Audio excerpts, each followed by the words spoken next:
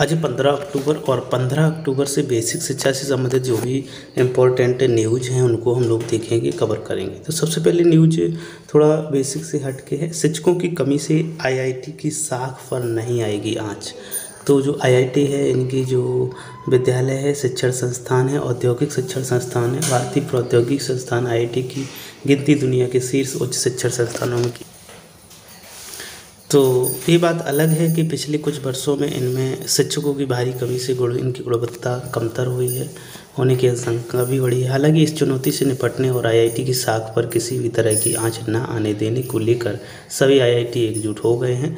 बॉम्बे, दिल्ली, मद्रास, गुवाहाटी सहित सभी पुराने और बेहतर प्रदर्शन करने वाले आईआईटी ने ऐसे सभी आईआईटी का मार्गदर्शन करने का फैसला किया है, जो प्रदर्शन में बाकी से पिछड़े हैं। इनमें ज़्यादातर नए आईआईटी ही हैं, पुराने आईआईटी नए और रैंकिंग में पिछड़े।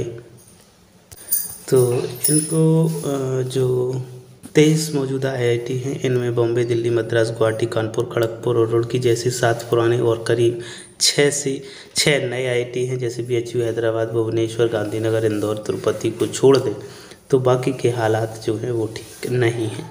तो इन्हीं के लिए थोड़ा जो भी है, सभी आईआईटी ने एक संगठन किया है। आगे देखें तो अपर सदी स्कूल के बच्चों को मिलेगा आई कार्ड। प्रधानाध्यापकों को सहयोग करने के निर्देश दे दिए गए हैं। तो बेसिक शिक्षा परिषद के अफसरों को भी अब निजी विद्यालयों की तर्ज पर वाले जो बीमारी लग चुकी है और एक तरफ़ स्कूलों में सरकार एम डी एम किताब, ड्रेस, जूता, मोजा, निःशुल्क उपलब्ध कराती है तो ज़िले के बेसिक शिक्षा विभाग के अधिकारी छात्रों से आई कार्ड बनाने की तैयारी में जुट गया है। यही नहीं, इसमें प्रधानाध्यापकों को सहयोग करने के भी निर्देश दिए गए हैं। आगे देखें तो नेक्स्ट न्यूज़ है, परिषदीय विद्यालयों में स्थित पुस्तकालयों में मिलेंगी एन और एन की बुक्स। तो ये बुक्स के लिए, हालाँकि पिछले सत्रों में भी ऐसा आदेश किया जाता रहा है कि एनबीटी पुस्तकों को वो शामिल किया जाए। तो इसमें विद्यालय है, में जो पुस्तकालय हैं रीडिंग कॉर्नर हैं, वो बनाए जाएँ। लेकिन अधिकांश पुस्तकालय निष्क्रिय पड़े हैं, जिससे बच्चों को पुस्तकालयों का कोई भी लाभ नहीं मिल पा रहा है। लेकिन अब इन पुस्तकालयों और रीडिंग कॉर्नर का बच्चों को भरपूर लाभ दिलाने के लिए बेसिक शिक्षा विभाग ने कवायद शुरू की है और जो पुस्तकालय है उसको, उसमें आईआईटी की एनसीईआरटी की एनसीईआरटी एनवीटी की पुस्तकों को सम्मिलित करने की भी बात की जा रही है। आगे देखते हैं तो छात्रा से छेड़छाड़ी के, छेड़खानी के आरोप पर सदी शिक्षक को पर केस दर्ज किया गया है।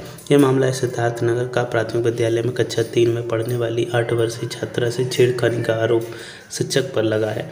कपिल वस्तु कोतवाली क्षेत्र के एक गाँव के विद्यालय में यह घटना दो दिन पहले हुई थी। आरोपित उसी विद्यालय का शिक्षक है। पीड़ित छात्रा की माँ की तहरीर पर पुलिस ने आरोपित शिक्षक पर छेड़खानी, पॉक्सो एक्ट के तहत केस दर्ज करवाने की। इसके लिए जाँच शुरू हो गई। हालाँकि इस मामले में विभागीय कार्रवाई शून्य है। जिम्मेदार जल्द विभागीय कार्रवाई करने की दलील दे रहे हैं। कपिल वस्तु कोतवाली क्षेत्र के एक गाँव निवासी महिला के मुताबिक उसकी आठ वर्षीय बेटी गाँव के ही प्राथमिक विद्यालय में पढ़ती है। शनिवार को छात्रा स्कूल गई थी। आरोप है कि विद्यालय के शिक्षक ने छुट्टी के बाद बच्ची के साथ अश्लील हरकत की। रोती बच्ची अपने घर पहुँची और आप बीती सुनाई। उसके बाद परिजन समेत गाँव के अन्य लोग शिक्षक के घर पहुँचे और उसे पकड़कर पुलिस के हवाले कर दिया। आगे देखें तो डीबीटी जो बच्चों के जूता, मोजा, ड्रेस से संबंधित पैसे आने हैं, राशि आनी है। उसमें शक्ति अब बढ़ती जा रही है। जल्द पूरा कराया जाए काम। बिना किसी अवसे, बिना किसी विशेष परिस्थिति में कोई भी शिक्षक अवकाश न ले, ये भी बी ने आदेश जारी कर दिया। ये बलिया में है। आप सभी संज्ञानित हैं कि वर्तमान समय में यूनिफॉर्म, जूता, मोजा बैग की धनराशि, अध्ययनरत छात्र छात्राओं के, अभिभावकों के खातों में प्रेषित किए जाने हेतु डेबिटे का कार्य बहुत तेज़ी से चल रहा है, जो शासन की सर्वोच्च प्राथमिकता में है और सीधे प्राथमिक और उच्च प्राथमिक विद्यालयों में पढ़ने वाले बच्चों तथा उनके अभिभावकों से जुड़ा हुआ है। तो इसके लिए उन्होंने साफ़ साफ़ निर्देशित किया है कि आदि आवश्यक हो तो ही छुट्टी लें, फालतू में छुट्टी कोई भी शिक्षक ना लें और ये कार्य है वरिता के आधार पर पूरा किया जाए। आगे देखें तो परिषदीय शिक्षकों के लिए पारस्परिक स्थानांतरण नीति जल्द लागू होगी। तो जो पारस्परिक यानी कि म्यूचुअल ट्रांसफ़र हैं, उनके लिए ये बात की गई है। राष्ट्रीय शैक्षिक महासंघ के प्रदेश संगठन मंत्री शिवशंकर सिंह का कहना है कि परिषदीय शिक्षकों के लिए पारस्परिक स्थानांतरण नीति जल्द लागू किया जाना चाहिए। और महासंघ ने कैशलेस चिकित्सा सुविधा वेतन प्रसंगति को दूर करना, पंचायत चुनाव में ड्यूटी के दौरान कोरोना संक्रमण से जान गंवाने वाले आश्रितों को जल्द नौकरी, मुआवजे आदि की भी मांग की है। आगे देखिए तो बस 2004 के बाद जिनकी शादी हुई है, दहेज में क्या क्या मिला उसका पूरा ब्यौरा सरकार को बताएँगे कर्मचारी और आदेश आने से विभागों में खलबली मची हुई है।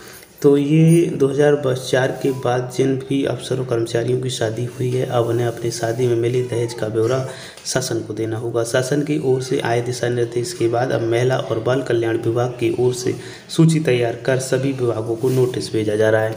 इस क्रम में प्रयागराज के लगभग दस हज़ार अफसर और कर्मचारी शामिल होंगे। पिछले दिनों महिला और बाल कल्याण विभाग के निदेशक की ओर से सभी जिलों में पत्र आया है कि उनमें कर्मचारियों और अफसरों से दहेज का ब्यौरा मांगा गया है, जिनका विवाह 2004 के बाद हुआ है। अलग अलग विभागों में लगभग दस हज़ार के आसपास ऐसे कर्मचारी और अधिकारी बताए जा रहे हैं। इन सभी को विभागाध्यक्षों के माध्यम से नोटिस देकर जवाब मांगा जा रहा है। इसका पूरा प्रपत्र शासन की ओर से आया है, जिसमें लोगों को शादी का वर्ष, उस वक्त की स्थिति और क्या क्या दहेज में लिया आदि, ये सभी चीज़ें उनसे मांगी जा रही हैं। ब्यौरा देने के लिए बात की गई है। उसके लिए नोटिस भी जारी किए गए हैं।